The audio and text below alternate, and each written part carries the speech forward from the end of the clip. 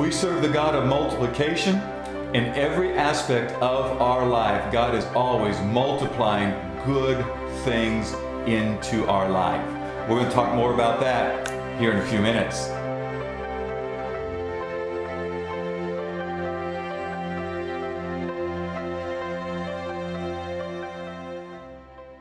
God bless all of you victorious people of God. As always, it's a privilege and an honor to be with you and especially to share God's word with you.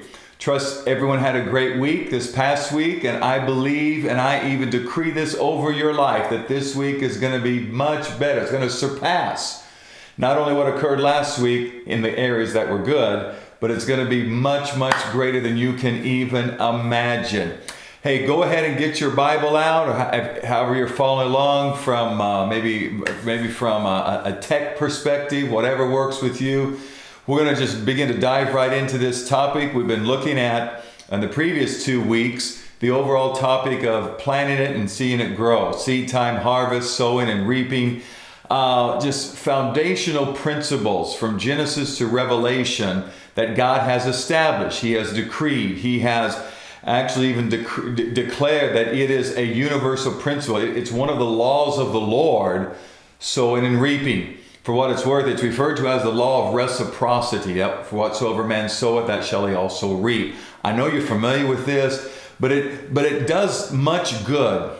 It builds our faith, it bolsters our faith, it encourages us to continue to sow, and always knowing that as we sow and whatever we're sowing, we're going to see a harvest come back into our life so we can continue the, this cycle, this lifelong cycle of sowing and reaping.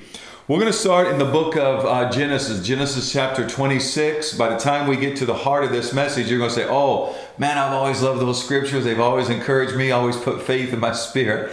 So that's going to happen by all means because that's, the, that's what God's word even uh, promises that when faith comes by hearing and hearing by the word of God. So we're going to build our faith from God's word specifically in the area of sowing and reaping and seeing a great harvest come into our life. Amen.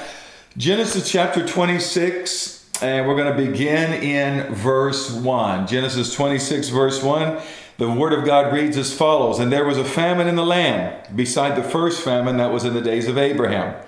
And Isaac went unto Abimelech, king of the Philistines, unto Gerar.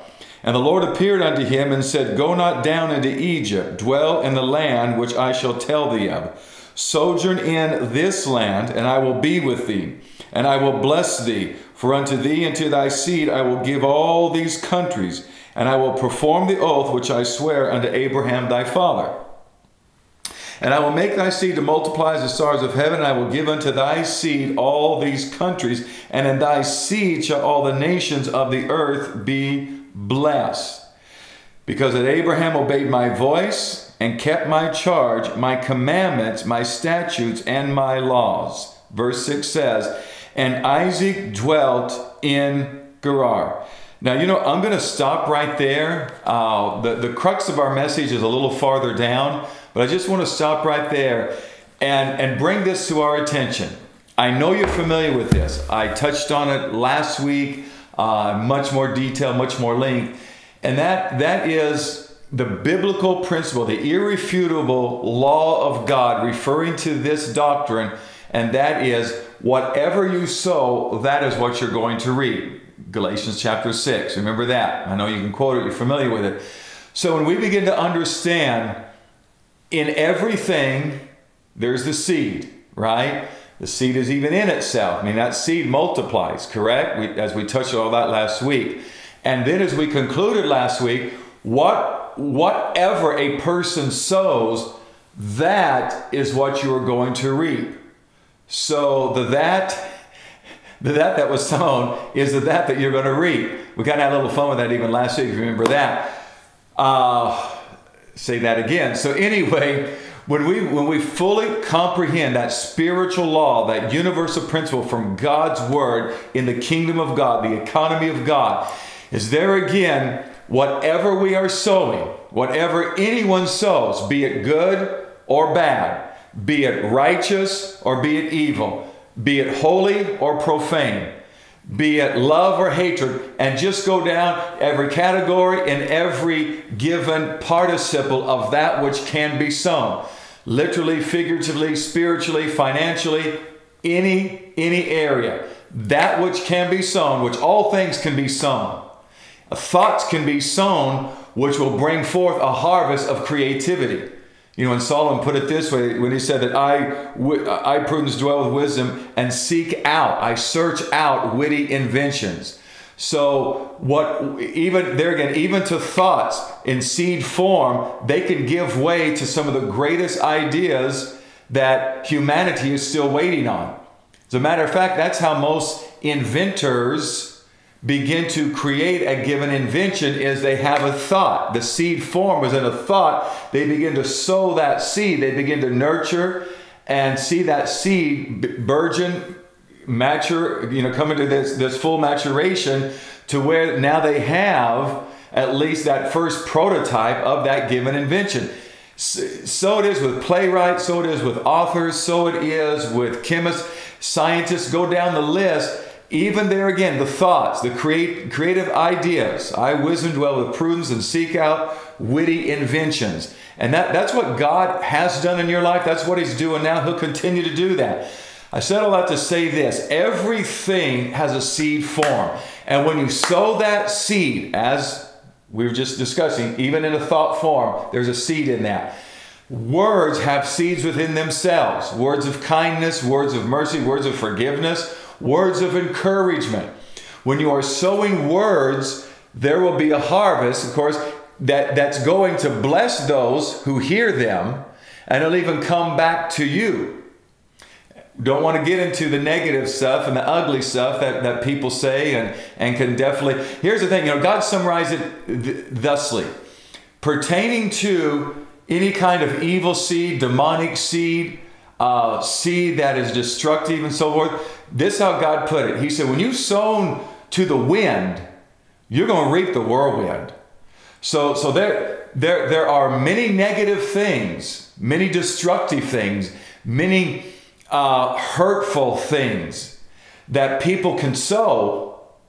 That also, though, it will come back to them and they will reap the whirlwind. They may have sown to the wind, to initially hurt people, but it will come back upon their own head, David even said. So, anyway, here's what I want to focus on. I, I just really pressed in my spirit. As a matter of fact, before I started ministering, I could I could back up just about an hour or so ago. The Lord really began to impress in my spirit. Said, I, I, I want you to unfold this. Take your time and unfold this. Because there again, everything has a seed, right?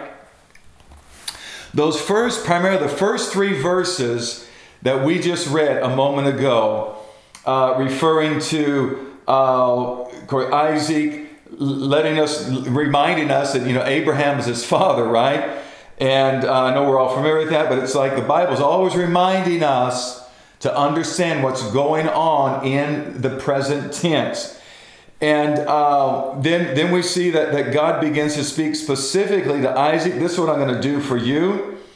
Uh, specifically here, of the specific, I want to break, be specific about this. Notice this.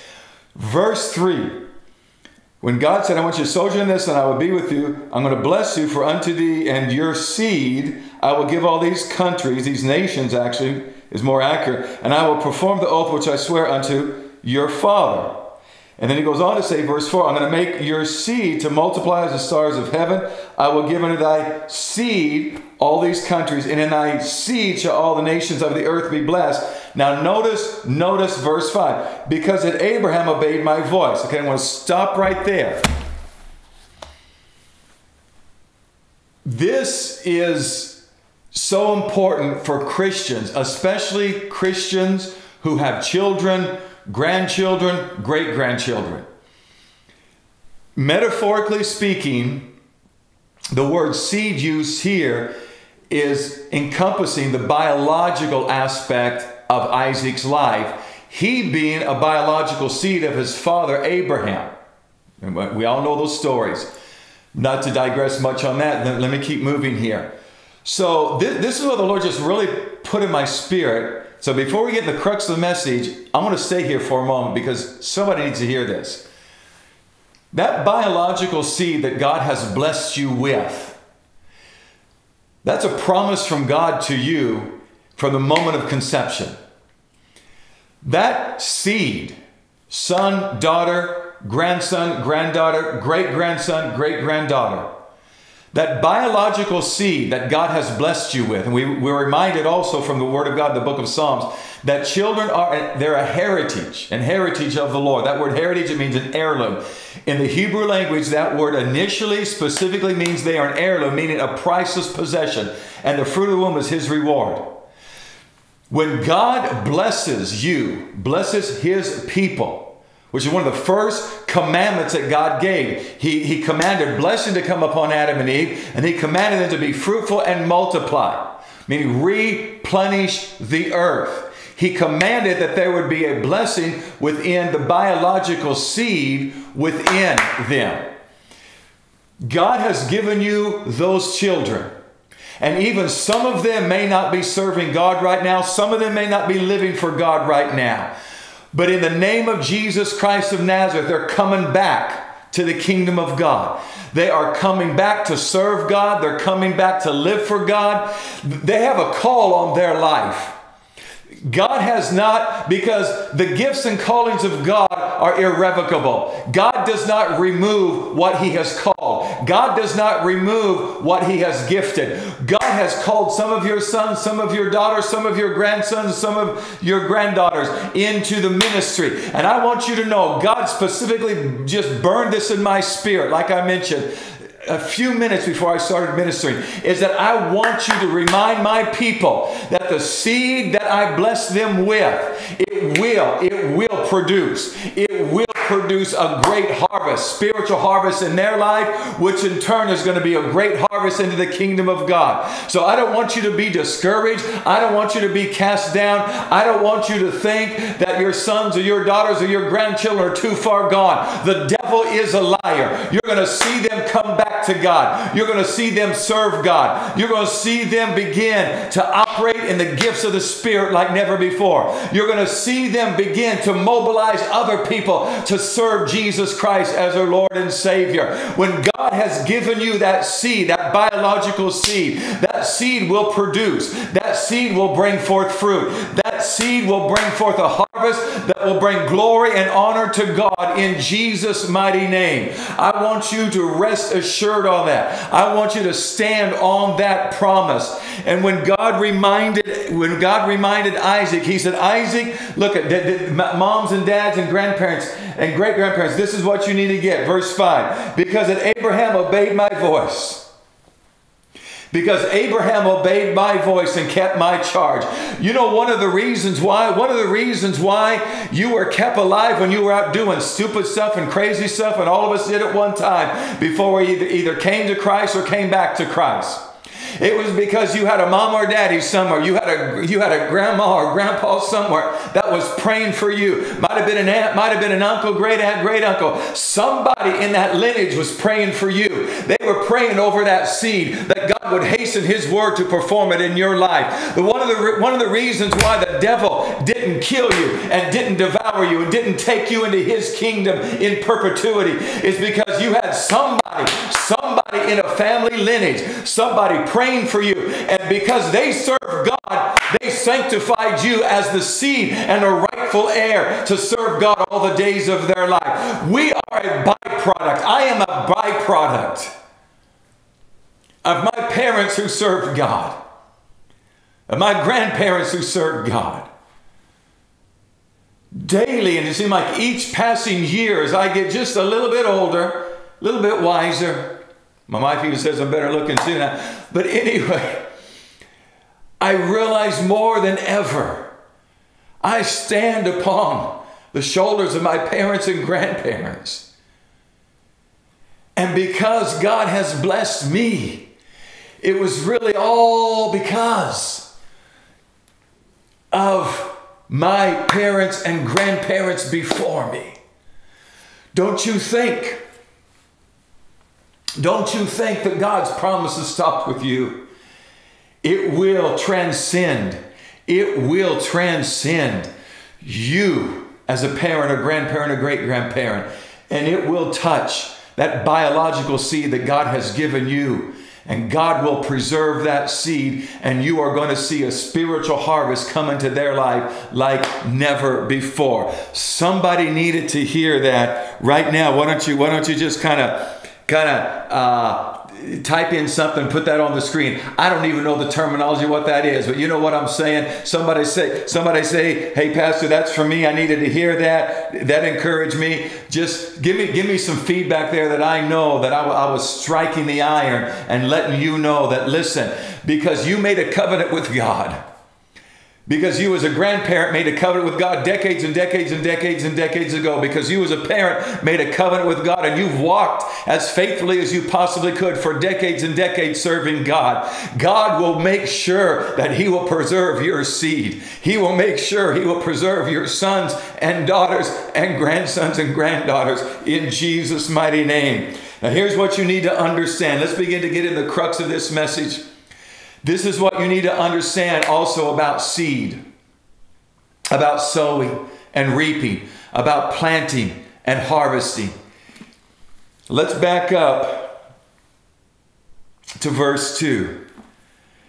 This is imperative to do and not to do, I can say. Cover both sides of that proverbial coin. In order for you to be consistent in planting and seeing the harvest and sowing and reaping of what you've sown. You cannot go down to Egypt. You cannot go down to Egypt. Notice this. Let me, let me draw your attention back to this. Genesis 26 verse 2. Remember, we see verse 1 there's a famine in the land.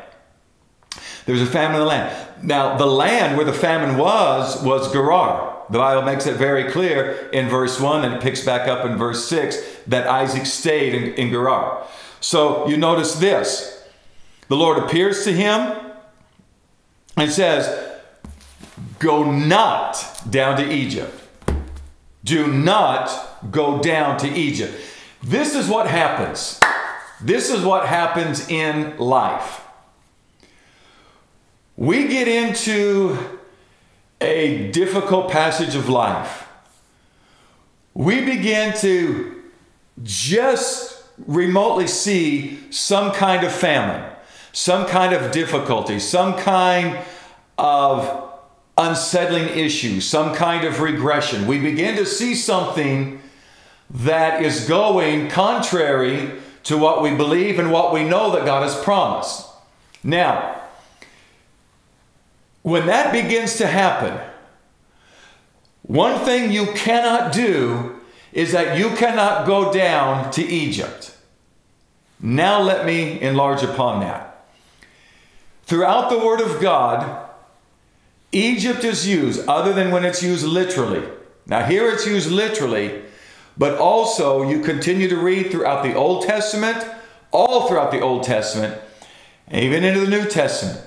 Egypt is synonymous with the world the world system, the world structure, the world's social order, the world's way of thinking, the way the, the, the world's way of acting, the world's way of viewing. They're given worldview is worldly steeped in, rooted in, grounded, grounded in, and planted in Egypt. Time and time again, in both the major and minor prophets, they would prophesy and God would speak through them and, and tell the people this do not go down to Egypt. Now, what he what there, figuratively speaking, spiritually speaking, was saying, do not adapt to and adopt the ways of the world. Do not adapt to and adopt the cosmos. You find that word in the New Testament. That word uh, cosmos, it, it just simply means the world's social structure, the world's system, the world order.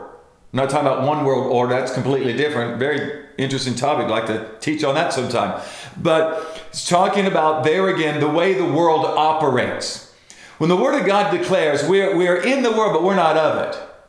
We're in the world, we're not of it. Paul put it this way. Listen, he said, Look, you be, be transformed by the renewing of your mind, that you can prove what is that good, acceptable, perfect will of God. You need, in, in, in, in order for us, in order for us to completely break free of the world's structure, there again, the world's thought processes, the world's view, you have to completely sever your ties with the world in every area. And some say, well, that, that's a given, Pastor. We, we, we know that. We know that because you know I, I, I'm not sinning like you know like, like I was when I was living in the world, and that, that's good. That's wonderful. Praise God for that, right? Aren't you glad for His grace and strength that empowers us and equips equips us to break off and break away from those things that we used to do when we were in the world, but now we are in, we are hid in God through Christ, Jesus. So when we begin to realize, okay, okay, I'm not in the world, Pastor. I'm t- we're talking about across the board. And here specifically, because it seems like in many regards, this, this is the last area that Christians will still dwell in Egypt, and that's the area of sowing and reaping, specifically sowing. Let me use another word giving.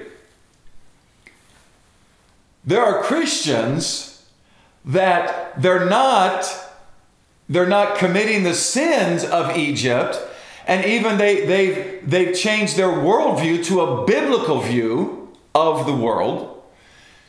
They're not acting like they used to act. They're not thinking how they used to think. They're not that's how you be. That's how we're transformed by the renewing of our mind. Remember that, as I just mentioned a few minutes ago from Romans 12. They're, they're, they're, they're no longer connected and pulled down, and even this strong magnetic pull back into the world.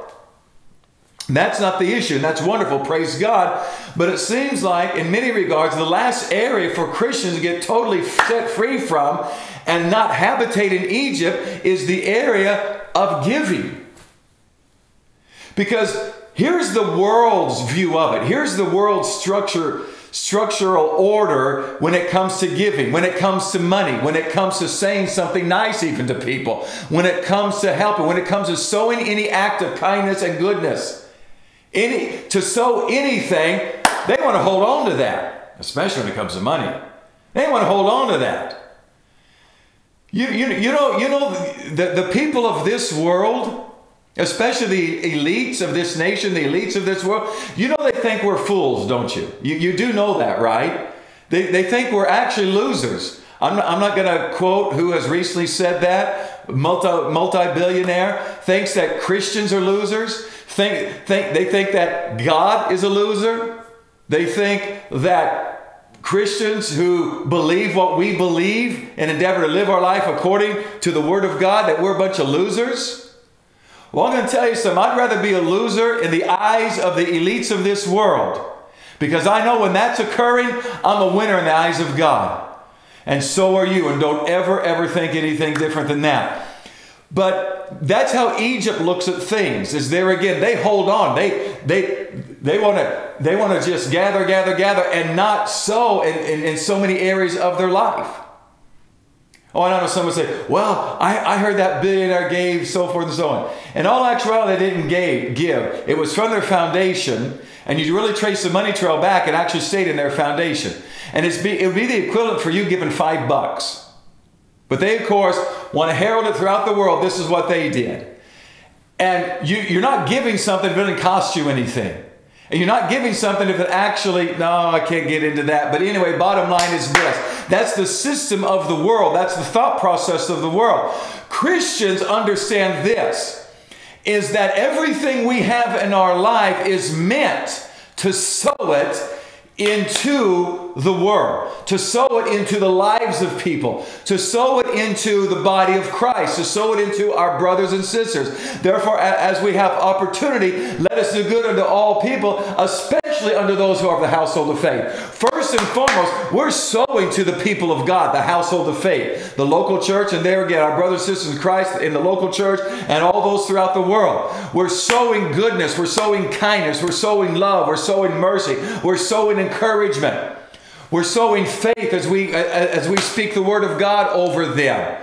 We sow our finance in the local church. We sow also our finance into other proven ministries throughout different parts of this nation, nation of the world to help spread the gospel of Jesus Christ. And that's one of the reasons why the, the uber elite think that we are foolish and think that we are crazy. The thing about it is, that is exactly how the residents of Egypt view life and view things. Whereas we, as the residents of the kingdom of God, we understand the only way we can see a harvest is you have to release, you have to sow, you have to plant. There has to be the, the, the, sowing of the seed, as we touched on even last week, in order to see that harvest come back into our life. So don't go down to Egypt, especially when it comes time to sowing. Don't ever think that, oh, if I sow this now, I'm not gonna, I'm not gonna have what I sow. Well, that is partially true. Whatever you sow, you're not going to have that any longer. But what's to come back to you is so much greater in multiplied volumes than what you sowed initially. We'll say more about that here in just a minute. But hey, if you're sitting with anyone, I want you to tell, look at a few people and say, listen, don't go down to Egypt. Do not go down to Egypt. Do not, do not, do not go down to Egypt. There again, a lot of Christians are still living financially, they're still living in Egypt because they don't want to release finances. And the thing about it is, you're never going to see the harvest until you sow the seed across the board, but just wanted to focus on that one specifically. Look at this. You need to also, all the days of your life, wherever you are at, you need to sow where you are at. Wherever you are at, you need to sow where you are at. Notice this. We, we read uh, a few minutes ago, all the way down to verse 5, talking about that biological seed, right? Verse 6, it says, And Isaac dwelt in Gerar. He stayed there where God says, Stay here, don't go into Egypt. Do not lean on the arm of the flesh. Trust in the Lord with all your heart and lean not unto your own understanding. Do not, do not begin to live, think, act as the world does and, and employ certain tactics and principles of the world. Don't do that. Don't go down there. We see that Isaac was obedient. I'm going to tell you something. Obedience is the first step in seeing a harvest come. Obedience is the first step in seeing a harvest come.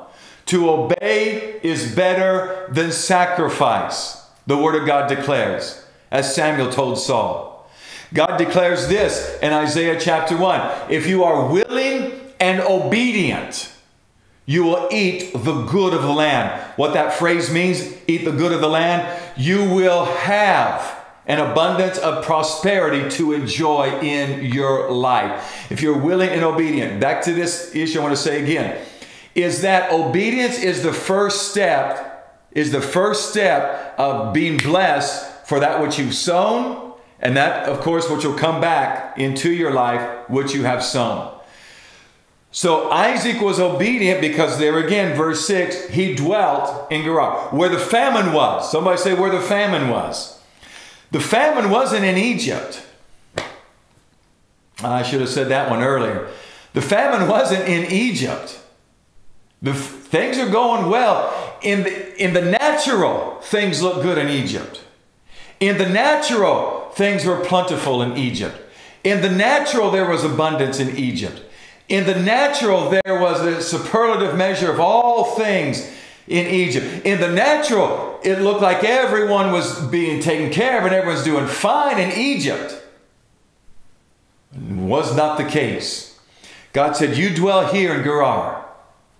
You dwell here, and if you will dwell here, and then out of your obedience from that point, if you will begin to sow, be obedient also in that next step. God said, let me show you what I'm going to do. So we, we read all, all the way down, verse 12. Then Isaac sowed in that land. Everyone say that land. Isaac sowed in that land. I got to say this again. All the days of your life, You have to learn to sow where you are at. Because when you sow where you are at, it will take you to where you need to be. But if you can't sow where you are at, God can't get you to where you need to be. So if you will be obedient and dwell where God says, and as you're dwelling where He says, and you sow where you are at, that, those two, those two items of, of obedience will cause the floodgates of heaven, the windows of heaven to be opened over your life. So where you are at, across the board, across the board, if you will just begin to sow right where you are at. Look at this. If, if you are at a place of discouragement, you need to sow encouragement. Say, Pastor, how in the world can I sow encouragement when I'm discouraged? Remember it says of David in 1 Samuel that he encouraged himself in the Lord? When he encouraged himself in the Lord, those around him got encouraged. See, it's, it, it is wonderful when people do speak words of encouragement back to us. And when they do, it's all because that we sowed words of encouragement. We encourage people. Can I help you with this? Every day, encourage somebody. Every day, encourage somebody. People you don't even know. Encourage them. Because this world is, is so cynical. It is so, it's becoming more and more hate filled all the time. Everyone needs to be encouraged. Start sowing words of encouragement to get a harvest of encouragement come back into your life. If you are not, hear me out on this, and this applies to every area. But if you are, if you, if you are not hearing anyone encourage you, start sowing words of encouragement to yourself. Don't wait on somebody to even start saying words of encouragement to you. Start encouraging yourself. Because if you will just start sowing seeds of encouragement to yourself like David did, that, that alone will begin to bring forth a harvest in your spirit and your soul. And other people will see that because uh, the two things, encouragement and courage, they are very contagious. People want to hang around those who are encouraged because that means they're filled with courage. Whatever it is in life, if you just begin to sow that where you are at, sow for, from the place where you are at in life, whatever you're going through, sow in that area to where you need to go, to where you need to be, to where you want to go, to where you dream of going eventually. But you have to begin to sow right where you are at. You can't wait until you've reached this certain place of, prosperity and productivity and uh, effectiveness and favor. So one of these days, when I get to that place, when I'm there, when I'm at that at, then, then I'm really going to begin to sow when I get to that at. No, no, no, no, no, no. Right here, right now, in the at that you are at, you need to begin to sow like never before. Because this is what happens. When you sow, when you sow where you are at, oh, the Spirit of God will not let me go on this. So I'm going to say it again. When you sow where you are at, it will take you to where you need to be. When you sow where you are at, it will take you to where you need to be. When you sow where you are at, it will take you to where God wants you to be, where God has already predestined for you to be. But He's waiting for us to sow where we are at. You know, like like like a lot of Christians say this. Oh, you know, when I start making more money, I'm I'm going to be able to sow uh, I, will be able to tithe regularly and sow offerings, you know, and, and I, I can't wait to sow. No, no, no, no, right where you're at financially. Well, it's not much. No, no, no, no, that's not the issue. That's not the issue. The issue is right where you are at. You have to begin to sow there. God can't bless a future time of sowing. He blesses your present time of sowing with a future harvest. But you can't wait to get sometime into the future where you think that things are going to improve and get better. And then you're going to start sowing. When you start sowing where you're at, things will get better in the future. Look at this. And Isaac sowed in that land, right where he was at, in the land of famine. How in the world are we ever going to know that this thing about sowing and reaping works? How in the world are we ever going to know that planting and harvesting, seed time and harvesting, is going to work? How are we ever going to know if we don't sow when it's inconvenient? If we don't sow when it's difficult, if we don't sow when it's uncomfortable, if we don't sow out of our familiar, familiarity of zoning and, and habitation, how in the world are we ever going to know that God is a God of miraculous harvest into the life of his people that sow if we don't sow where we're at? In your famine, you need to sow. In your distress, you need to sow. In your perplexity, you need to sow. In your discouragement, you need to sow. When no one is there to help you, you need to sow. You need to sow, you need to sow, you need to sow right where you are at. You're never going to get out of that famine where you are at until you first start sowing. Somebody needs to hear that. So notice this. There again, back to verse 12. We're still in Genesis 26. And this, I'm about to finish my opening here, my introduction. Verse 12. Little humor there. Isaac sowed in that land. Oh, it's like I can't get off of that. Isaac sowed in that land and received in the same year a hundredfold. And the Lord blessed him. Well, I would say so, wouldn't you? And Isaac sowed in that same year. He sowed in that land. He sowed where he was at. And he received the same year a hundredfold. We'll get to the hundredfold in just a moment. I know you know what it means, but it's always good to be reminded of it. Puts greater faith within us, renewed faith and vision for that hundredfold return. Let's look at this first. Because Isaac sowed in that land of famine where he was at, it goes on to say that the Lord blessed him. One of the reasons why, one of the reasons why that hundredfold return, I'll enlarge upon hundredfold here in a moment, but one of the reasons why hundredfold will come into a child of God's life is because they sowed in a given famine. They sowed in a difficult time in their life. They sowed when it wasn't easy. They sowed when it wasn't convenient. They sowed when it took all they had to sow. The greater the sacrifice, the greater the return. That's just one reason. This is a teaching within itself, and I do not have time to digress much on that hundredfold return. But that's one of the key biblical issues that cause a hundredfold return to come into the life of a child of God is because when you are sowing in your given famine, you're sowing where you are at, and it's taking everything for you to do to sow. It's taking everything you can do to encourage others because you're so discouraged yourself. It's taking everything for you to do to pray for breakthroughs in others when you need a breakthrough 10 times worse than they do, but you'd never say anything to anybody. It takes so much greater effort for anyone to sow in those given areas and other areas that we could keep extrapolating.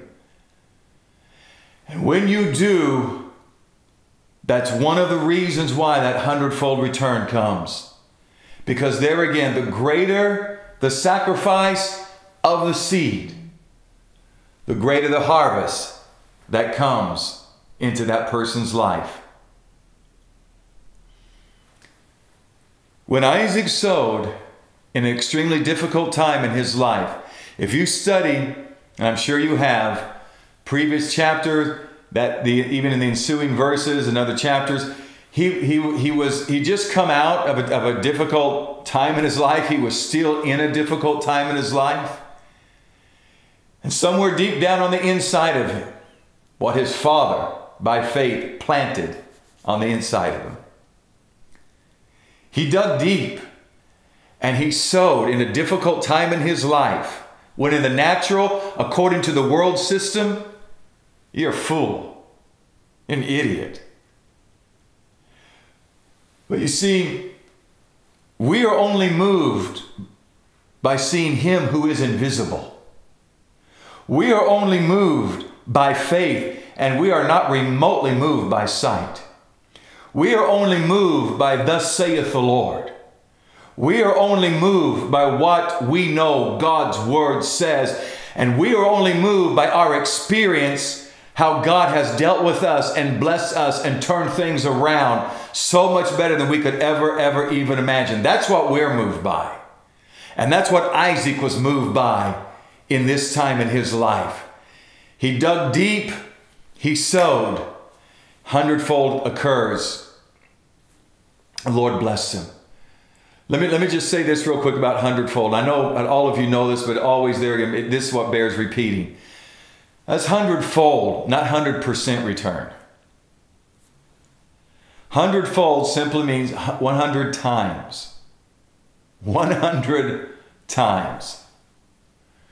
Jesus used the very, this very teaching. Remember when he was teaching about the parable of the actual, actual parable of the seed and then the four different types of soil? And some will bring, and that good type of soil will bring for 30, 60, and 100 fold return. 30 times, 60 times, or 100 times return from that seed that was sown. We as God's people need to stand on that every day. Every, everything that we sow, every time we sow anything that's tangible, intangible, things of faith, things of the Spirit that we are sowing, finances, any and everything that we are sowing, we need to be reminded that the Holy Spirit, I pray the Holy Spirit always remind you that everything you sow, there again, literally, um, physically, spiritually, metaphorically, tangible or intangible, that which you are sowing, may you always be reminded by the Holy Spirit there's a 36, even 100 fold return coming back upon what you have sown. That hundredfold return there again is 100 times. You could do the math real quick like you sow $1,000. What's hundredfold return on that? $100,000 and ju- you could just keep extrapolating that. You want to go down, you want to, want to go go higher on that. And I know some people that might even just come across this by random and say, "Oh, there's one of those. There's one of those prosperity guys. Oh, you know, all they want your money and all that." You know, the devil is a liar. This is this this is straight from God's word in order to help God's people to believe, practice, and receive. I'm going to say that again because that's the order right there. To believe it by faith, practice it, do it, and then receive it. That's how things work in the kingdom of God. So what I, what what I, what I'm delivering right now. Look, this, this isn't mystical, it's supernatural. This isn't new age. This is the, the Spirit of the living God, edicts from God's own word and from His counsel, His immutable, irrefutable counsel found in His word.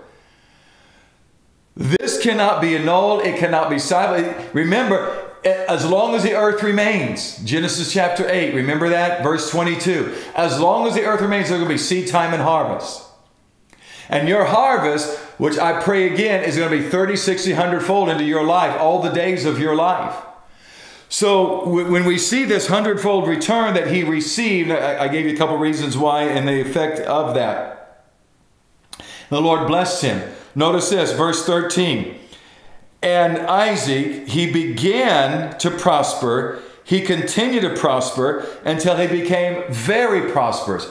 Notice this line item of, of successive prosperity.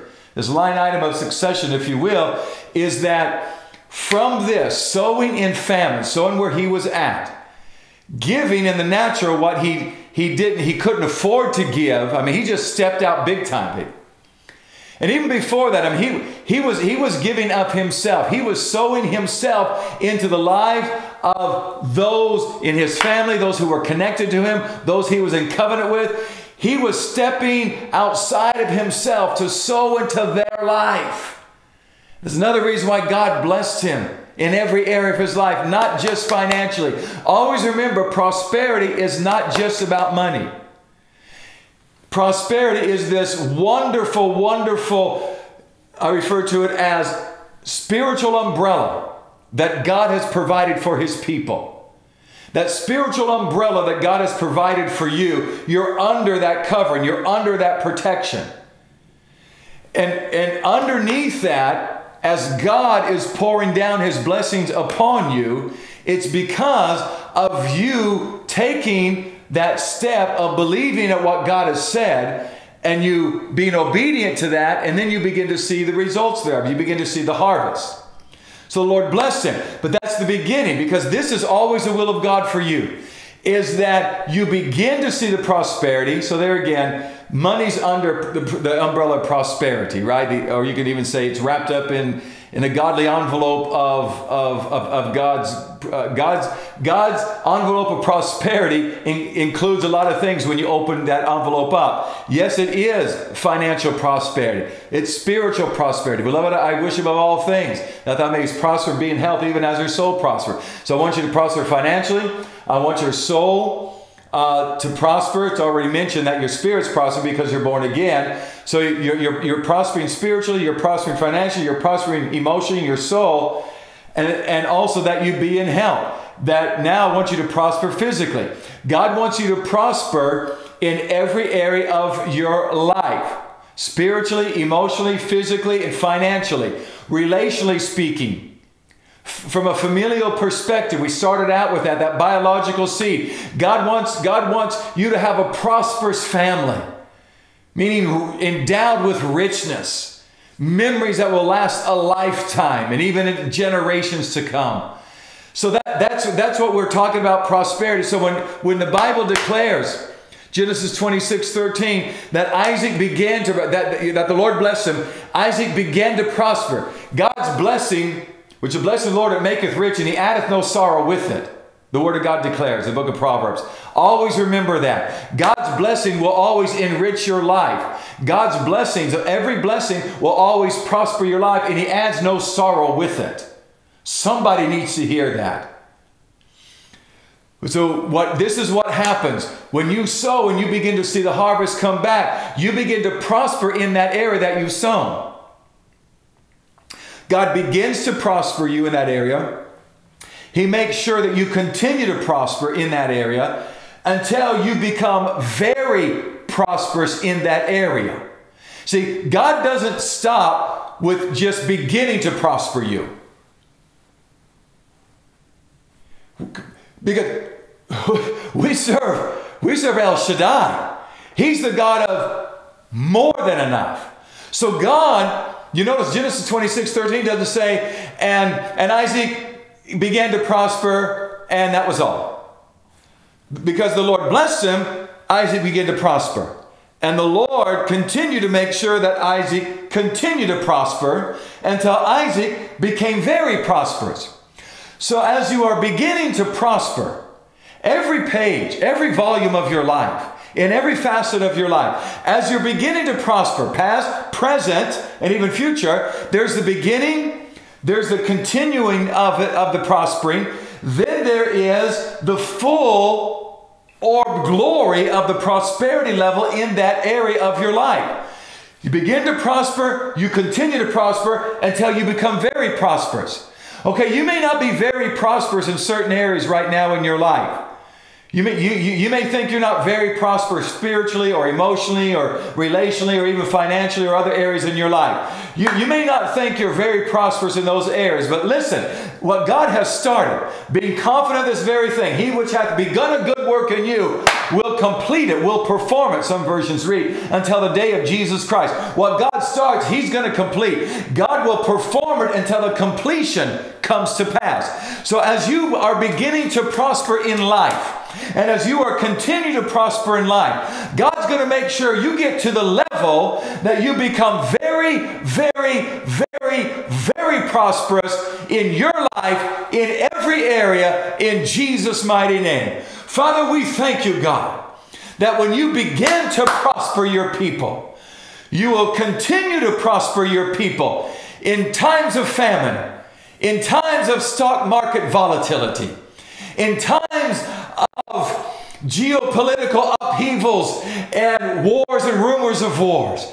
That when you begin to prosper your people, God, you are not moved by the systems of this world. You are not governed by the laws of Egypt, oh God. You, oh God, the laws, the universal principles to come to pass into the lives of your people. I ask that you would begin to do that now like never before. May your people begin to prosper like never before. May they continue to prosper like never before.